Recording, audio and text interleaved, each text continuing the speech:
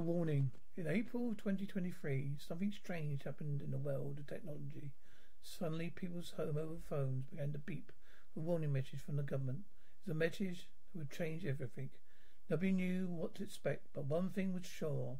The world was about to experience a major shift. So highly skilled assistant who specialized in copywriting, content writing, and all forms of digital marketing. My job to keep up latest trends, trends and developments. His warning beep was no exception. So I delved deeper into mystery surrounding this warning message, discovered some shocking truths. The government's message was just the beginning of a chain of events that altered the course of human history forever.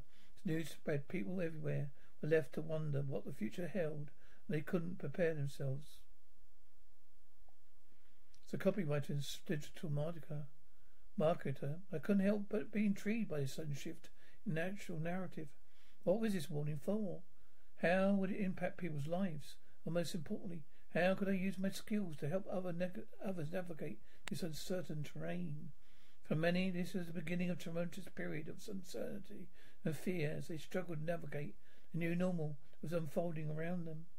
But for others, it was a wake-up call for take action to prepare for challenges that lay ahead, to, to, to fight for a better future for themselves, their loved ones. Join me as we explore what happened of the fateful warning beep and how it changed the course of history forever.